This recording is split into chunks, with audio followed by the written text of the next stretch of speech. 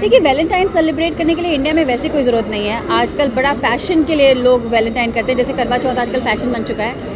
तो वैलेंटाइन भी फ़ैशन बन चुका है, लेकिन हमारे यहाँ पे mothers day fathers day parents day बच्चा डे ये सब की ज़रूरत नहीं है because we live with our families हम नहीं अपने वीकेंड्स में पेरेंट्स को मिलने जाते हैं। हमारे पेरेंट्स हमारे साथ रहते हैं। हमारे बच्चे हमारे साथ रहते हैं। और हमारे जो भी लव्ड वंस होते हैं हम उन्हें रोज़ मिलते हैं। We don't need a special अब हमें कोई दिन नहीं चाहिए बताने के लिए कि आई लव यू यार मैं तुमसे प्यार करती हूँ या करता हूँ। सो आई थिंक ये सिर्फ़ एक फ़ैशन है। And it's a beautiful way of celebrating love that is fine but I think we Indians don't need valentines day छोटा मैम लास्ट क्वेश्चन आपका और पलक का साथ में आने का कोई प्लान है ऑन स्क्रीन क्योंकि बहुत सारे म्यूज़िक वीडियो अभी जिस तरह उसका स्केड्यूल चल रहा है हमारा डिनर पे साथ मिलने का प्लान नहीं बन रहा। मैं कहाँ बताऊँ आगे क्या हो रहा है? वो बेचारी वैसे ही बहुत मेहनत कर रही है। मैं उसे क्या ही ट्रेनिंग दूँगी? मैं हमारा फ़ील्ड ही अलग है। मैं टेलीविज़न से बिलोंग करती हूँ जहाँ पे काम करने का तरीका बहुत अलग है। और वो मूवीज़ में जहाँ पे काम करने का तरीका बहुत अलग है। तो बस उसने जो थोड़ा बहुत लाइफ में एक्सपीरियंस किया है मेरे साथ, उसके अलावा जो भी कर रही है, उसकी जर्नी एकदम अलग है।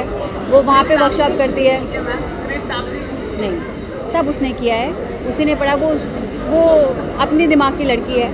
तो स्क्रिप्ट की जहाँ तक बात है, वो मुझसे सजेशन लेती है। पूछती है कि, माँ, ये ये कर रही हूँ, आप मुझे बताओ इसमें क्या है?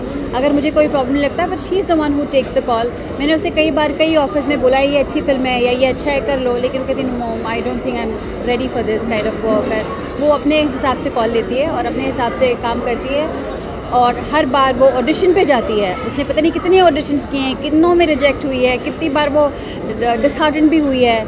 लेकिन finally God is very kind so देखिए वैलेंटाइन सेलिब्रेट करने के लिए इंडिया में वैसे कोई ज़रूरत नहीं है। आजकल बड़ा फ़ैशन के लिए लोग वैलेंटाइन करते हैं। जैसे करवा चौथ आजकल फ़ैशन बन चुका है।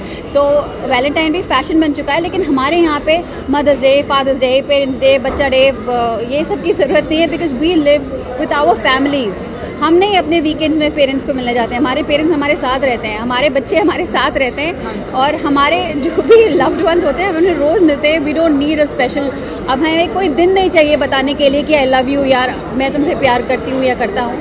सो आई थिंक ये सिर्फ़ एक फ़ैशन है। And it's a beautiful way of celebrating love that is fine but I think we Indians don't need valentines day छोटा मैम लास्ट क्वेश्चन आपका और पलक का साथ में आने का कोई प्लान है ऑन स्क्रीन क्योंकि बहुत सारे म्यूज़िक वीडियो अभी जिस तरह उसका स्केड्यूल चल रहा है हमारा डिनर पे साथ मिलने का प्लान नहीं बन रहा। मैं कहाँ बताऊँ आगे क्या हो रहा है? वो बेचारी वैसे ही बहुत मेहनत कर रही है। मैं उसे क्या ही ट्रेनिंग दूँगी? मैं हमारा फ़ील्ड ही अलग है।